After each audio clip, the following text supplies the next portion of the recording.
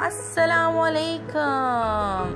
प्यारे बच्चों, आपकी टीचर मिस महविश निसार आज फिर हैं आपको पढ़ाने के लिए हरूफ तहजी आपके साथ।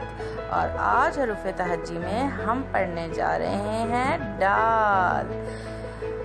तो प्यारे बच्चों, क्या आप तैयार हैं द डायनासोर की कहानी सुनने के लिए?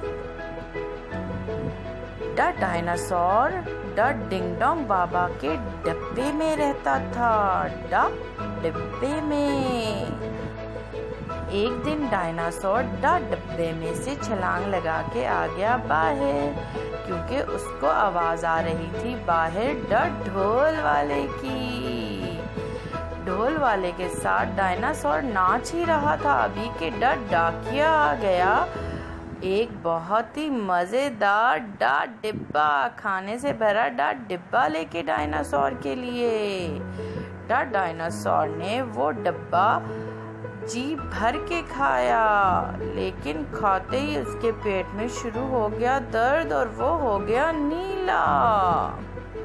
डा डिंग डोंग बाबा तो बहुत परेशान हो गए कि अब क्या होगा? वो डा डायनासोर को डा डॉक्टर के पास लेकर चले गए।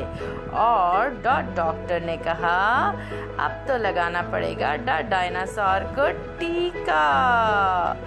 डर डायनासोर डर के रोने लगा। नहीं नहीं नहीं, मुझे नहीं लगवाना टीका लेकिन द डॉक्टर साहब ने उसे समझाया कि टीके से आपका दर्द ठीक हो जाएगा।